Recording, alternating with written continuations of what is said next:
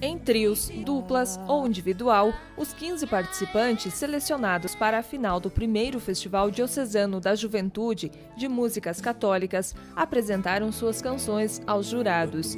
O evento oportunizou a participação de jovens de toda a Diocese de Palmas Francisco Beltrão. O concurso teve três etapas. Dos 53, nós tivemos a primeira fase, passou 30, que foram os mais visualizados no YouTube.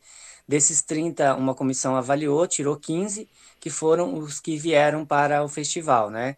Então, nós tivemos 15 apresentações, mas nós tínhamos ali trio e duplas, né? Sendo que uma das duplas foram a campeã. Oh, caipira, pira,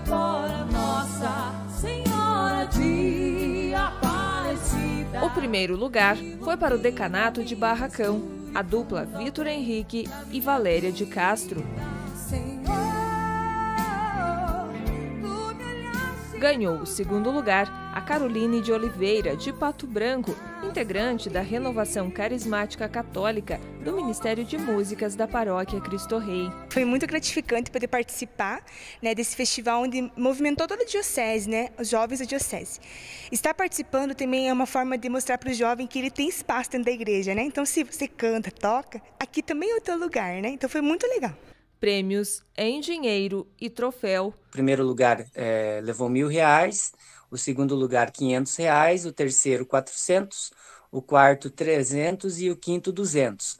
A gente premiou também do sexto ao décimo quinto com 50 reais de participação e mais troféu para cada um, né? Padre Dilonei, pároco da paróquia Cristo Rei, acredita que festivais assim ajudam a resgatar e a valorizar a música católica. Esse festival veio trazer essa alegria, essa beleza, esse encanto que faz parte da música.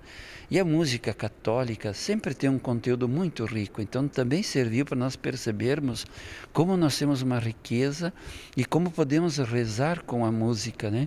É, quem canta reza duas vezes, dizia Santo Agostinho. Então, foi um momento muito especial de oração, de espiritualidade, de reflexão.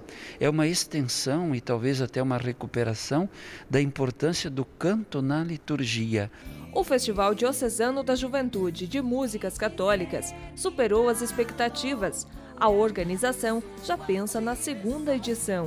Certamente para o ano que vem já estamos já pensando é, numa proposta. Acreditamos que esse festival, é, como a gente tinha já o Juvenfest antigamente, né, anos atrás aqui, este festival vem reativar de novo a música católica dentro do, do espaço que nós temos hoje com a juventude, que é algo para trabalhar e a música é uma ferramenta muito importante, né?